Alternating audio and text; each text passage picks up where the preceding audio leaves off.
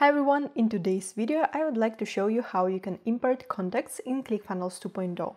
As you may know, ClickFunnels 2.0 has a built-in autoresponder, which means you can use this platform for email marketing. And if, for example, before you were using a different autoresponder, like in my case, I was using ActiveCampaign, now you may want to import your contacts to ClickFunnels 2.0. How do you do it? I will show you in this video and also will show you how to solve a few hiccups that may occur on the way. Alright, the first thing that you need to do is to export the contacts from your current autoresponder in the form of a CSV file. I have already prepared a small file like this as you can see, it only has a few contacts, so it doesn't take a lot of time to import them in ClickFunnels 2.0. When you want to start an import, you should go to the contacts, then either all contacts, there they also have the CSV import button, or contact imports like we have here. Then click CSV import. When you try just to upload the CSV file that you got from your current autoresponder, let's click upload and then try to upload the file that I got from ActiveCampaign you may see that the import has failed. I have seven failed contacts here.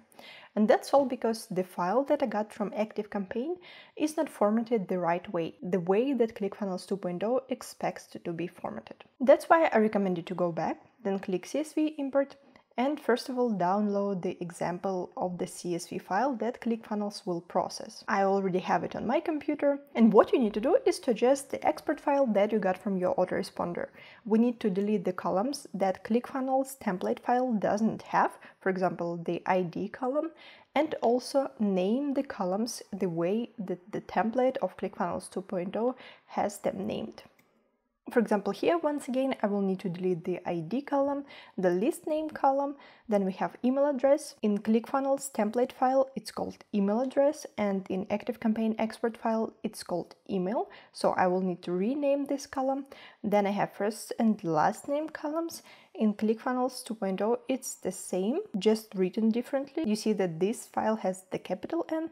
Then we have phone number and so on. If you have the columns and the data like time zone, Facebook, Twitter URL, Instagram and so on, you can keep those columns. I will delete them because I don't have them. And the good news is that you can also add the columns that you need or that you had in your export and want them to be imported in ClickFunnels 2.0. For example, here I have a column text and I want ClickFunnels 2.0 to also import the tags of the contact and that's why I will keep this column in this export file. So I will quickly do it and then we will continue with the video. So now you can see the template provided by ClickFunnels 2.0 on top and at the bottom you see my export file that I adjusted. So I kept the columns email address, first name, last name, same columns here, then the phone number, I don't have time zone, and the one column that I wanted to keep as mentioned, is the tags column, and the rest I just deleted. Now we can try to export this file once again. In ClickFunnels 2.0, click Upload File, choose the file, click Continue. Here you will need to map the columns from our CSV file to the contact field that's provided in ClickFunnels. And click Continue. Confirm this checkbox and also choose if you want the existing contacts to be overwritten and then click Perform Import Action. And this time we have a successful import and have 7 contacts that I have in the table imported to ClickFunnels 2.0. And before I show you how to segment the contacts that you imported to ClickFunnels 2.0, if you don't have any tags assigned to those contacts, like this video and subscribe to our channel for more useful content. Also, if you don't have a ClickFunnels 2.0 account yet, use the link in the description of this video to start a free trial and get our ClickFunnels 2.0 course as a bonus. And if you already have a ClickFunnels 2.0 account, check out the description of the video to learn how you can save on your subscription and get awesome bonuses.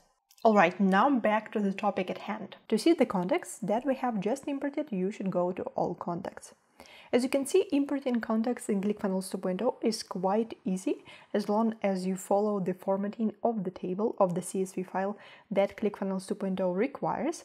And now you know how to make sure that you're doing it. You also know how to add the columns or if you can add the columns that ClickFunnels template file doesn't have. And you see proof here that the tags column that we had in our export file is also added to the contacts. This contact has the tags that it already had in the previous autoresponder. When I looked into the importing of the contacts first, I was slightly confused. What do I do with multiple lists that I have in my current autoresponder? Because ClickFunnels 2.0 does not have lists. And I also didn't realize that I would be able to import the tags because ClickFunnels template didn't have the tags column. And the last thing that I want to mention if, unlike me, you don't have tags assigned to your contacts in your current autoresponder, you can either do it before you import the contacts in ClickFunnels 2.0, so you can then to segment the contacts that you have here, or ClickFunnels 2.0 also assigns a specific tag when you are importing contacts. For example, these four tags were already assigned to the contact before by me, but this last one